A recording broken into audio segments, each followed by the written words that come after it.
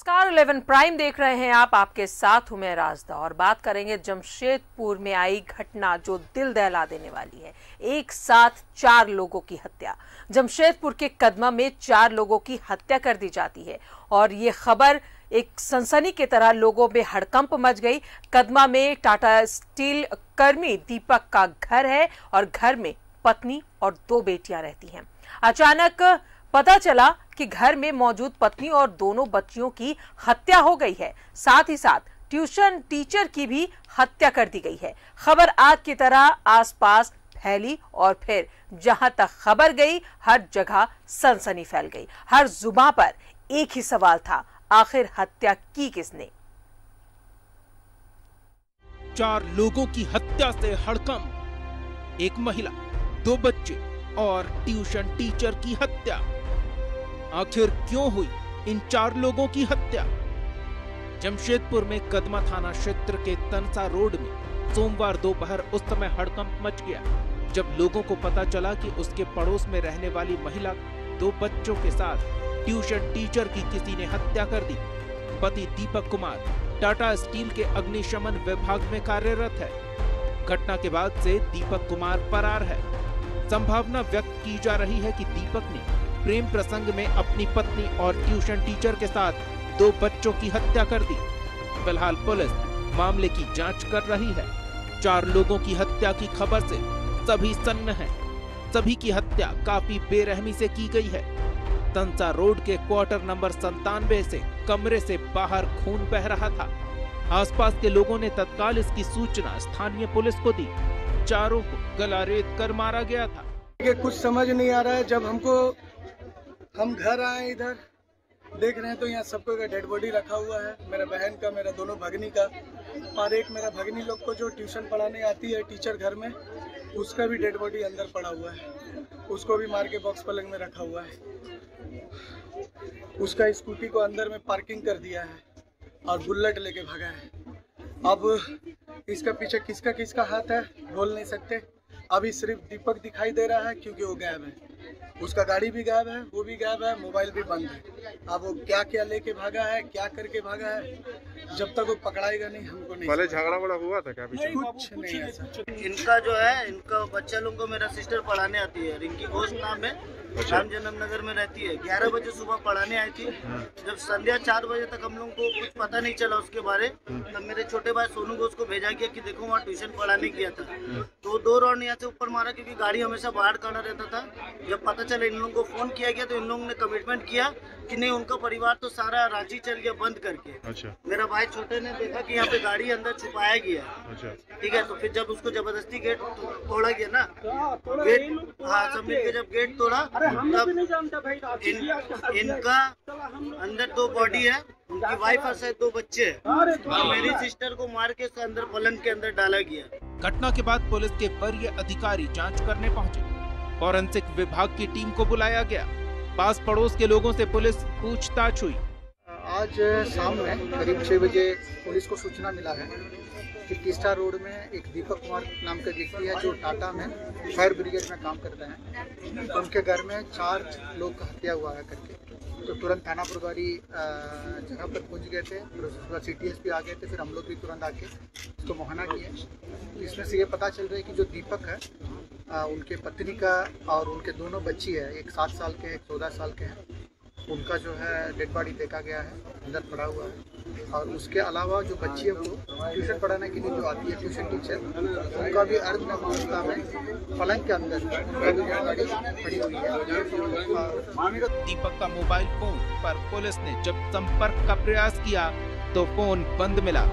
जिस तरीके से हत्या को अंजाम दिया गया, संभावना व्यक्त की जा रही है कि मामला प्रेम प्रसंग से जुड़ा हुआ होगा। जमशेदपुर से न्यूज़ 11 भारत के लिए पीयूष मिश्रा के साथ मनोज सिंह की रिपोर्ट। तो ये दिल दहला देने वाली घटना जमशेदपुर में सामने आई है, लेकिन अभी तक पता नहीं चल पाया है कि आखिर वो शख्स जिसने हत्या की है, जिस पर आरोप लगे हैं, वो कहाँ है? पुलिस किन बिंदुओं पर जाँच पड़ताल कर रही है, ये तमाम जानकारी लेंगे। हमारे सहयोगी जमशेदपुर से पीयूष बने हुए हैं। पीयूष, निर्मम हत्या कर दी गई चार लोगों की। अभी तक क्या जानकारी मिल पाई है? देखिए, सबसे बड़ी बात है कि पुलिसिया जाँच में जो है, अभी तक ये बात सामने आया है कि रात को ही पत्नी और दो बच्चियों की हत्या कर दी गई थी, जिसके बाद सुबह जब 11 बजे उनकी टीचर जब वहाँ पहुँचती हैं, उनकी भी हत्या की जाती है, लेकिन पुलिस का साफ़ तौर पर कहना है कि अदनग अवस्था में टीचर का सब बरामद किया गया था, और साथ ही साथ उसको बॉक्स पलंग में डाल दिया गया था। तो पुलिस जो है, हर बिंदु पे जाँच कर रही है और जो आरोपी फरार हैं जिनके ऊपर आरोप उनके परिजन लगा रहे हैं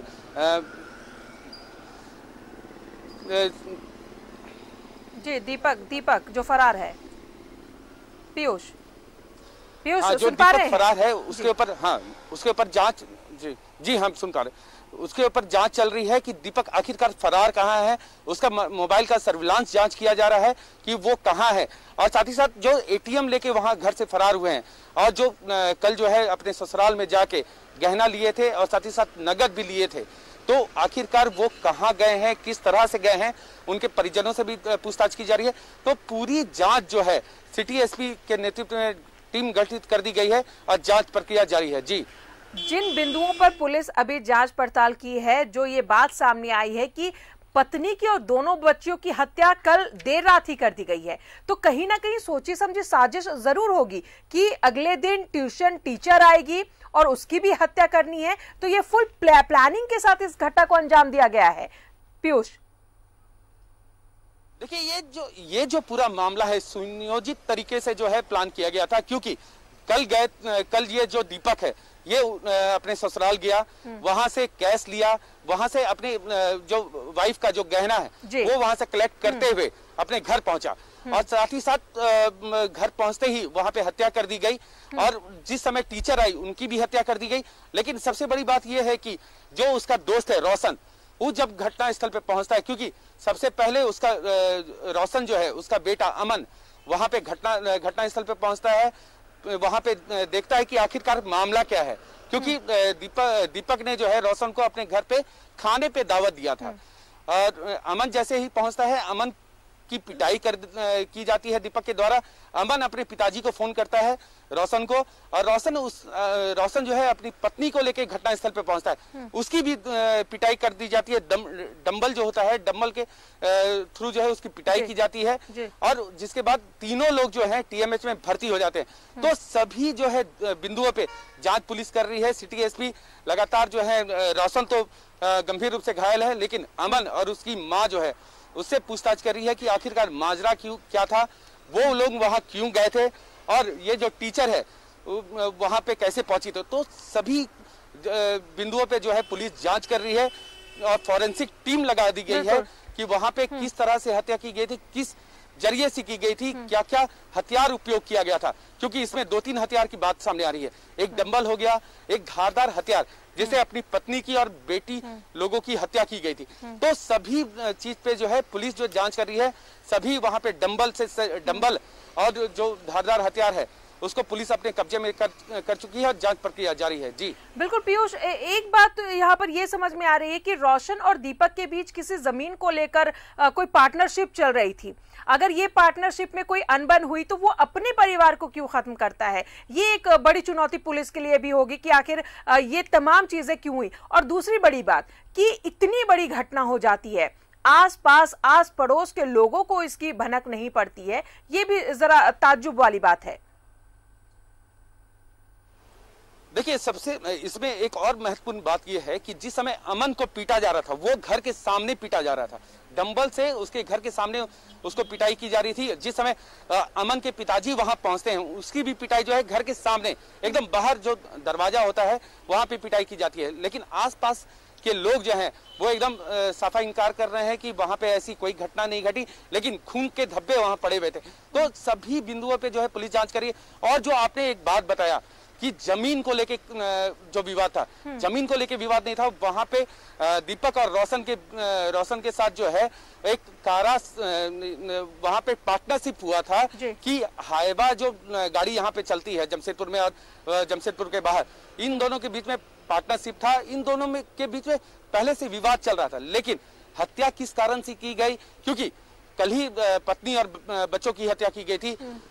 फिर ग्यारह साढ़े ग्यारह बजे जो है सुबह में टीचर की हत्या की गई और उसके बाद जब वहाँ पे दीपक के जो दो, दोस्त हैं रोशन वहाँ पहुँचते हैं उनकी उनकी पिटाई की गई।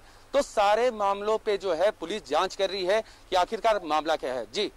चलिए, नज़र बनाए रखे पीयूष, तमाम ताज़ा अपडेट आपसे लेते रहेंगे। पुलिस के लिए एक बड़ी चुनौती है कि कैसे दीपक को अरेस्ट किया जाए, कैसे पूछताछ कर इस सारे मामले का खुलासा हो सके। बहुत बहुत शुक्रिया आपका पीयूष, तमाम जानकारियों के लिए। तो चार लोगों की हत्या से हड़कंप मचा हुआ है। आपको बताएँ कि इसमें एक महिला, दो बच्चे और ट्यूशन टीचर शामिल है। आखिर इन चार लोगों की हत्या क्यों की? क्योंकि जो शक के बिंदु है, वो सिर्फ़ और सिर्फ़ घर के जो दामाद है, उस पर है जिसका अभी तक कोई अतापता नहीं है।